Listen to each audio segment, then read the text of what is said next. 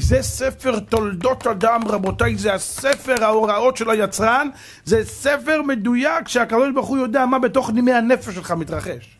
מה בדם שלך, איך זורם בעורקים, איך הדם, הוא, הוא יצר אותך, הוא עשך ויכוננך, הוא לא יודע מה אתה חושב? אתה חופש כל חדרי בטן, רואה כליות ולב, אין דבר נעלם ממך ונסתר מנגד עיניך. חכמי ישראל ידעו הכל.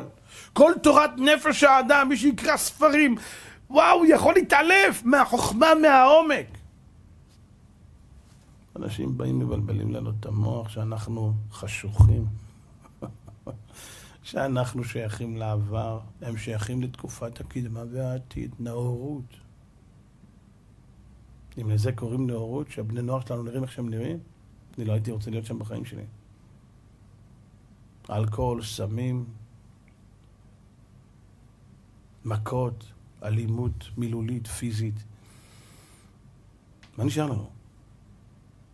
הם מרחמים על בני הנוער, אז הם תלשו אותם מהרחמים שלהם, שלא תחשבו, מהרחמים שלהם הם תלשו אותם מהיהדות והכניסו אותם לקיבוצים של שומר הצעיר.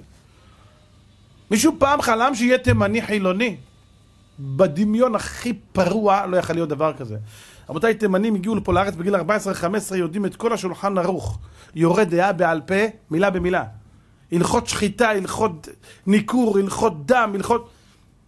רבותיי, אתם לא מבינים איך הגיעו לפה התימנים עם קמיס, אתם יודעים, זה הג'לביה הזאת, עם סימונים, עם ספר ביד. בתימן היו יושבים, אתם יכולים לראות את התמונות האלה, מרוב עוני היו יושבים ארבע על ספר.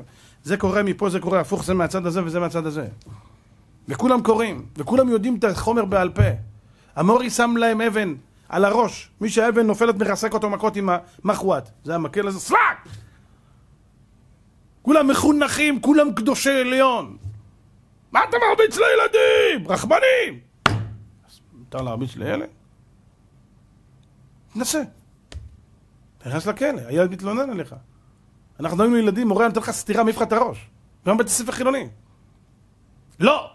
לא שאמרתי שכך צריך להיות. מורה אסור להתעלל בילד וגם לא לאבא. אבא שמרביץ לילד שלו מרכות אכזר, זה אדם מטופש. הרמב"ם אומר, אסור לאבא להרביץ לילד כשהוא כועס. אומר אם אתה מרביץ לו כשאתה כועס, אתה עובר על איסור דאורייתא ולא יוסיף להכותו. איסור דאורייתא. אבל זה הבן שלי. הבן שלך זה צעצוע שלך? אז מה עם הבן שלך? אני חושב שזה אשתי. מה זה אשתי? זה הבן שלי, זה סבתא שלי. תגיד, אתה מטומטם? אתה נורמלי? אנשים מורידים לילדים שלהם כאפות בפנים. מה, אסור להרביץ בפנים? בפים מכה פה, אסור לתת מכות על גב היד, סכנת נפשות. מכה קרקה מאחורה שלא יכולה לגרום נזק. בפנים, בראש. אני ראיתי פעם אבא מטורף, עצבני, לא ידעתי, נכנס לתוך הבית מדרש ביהוד איפה שהייתי מלמד, רדף אחרי הבן שלו, בן 17, הוא הוריד לו בוקס ככה, סתכלו, לתוך הפנים בסיבוב, בכל הכוח. אם הבן שלו לא זז, אני לא משוחק איתכם, או הראש לא עף או הלסת עפה. איך אפשר להיות כזה מטורף? אחד כזה באמת מגיע לעונש. למורה אסור להעניש? היום יש לך ארגון התלמידים, ארגון הגרביים,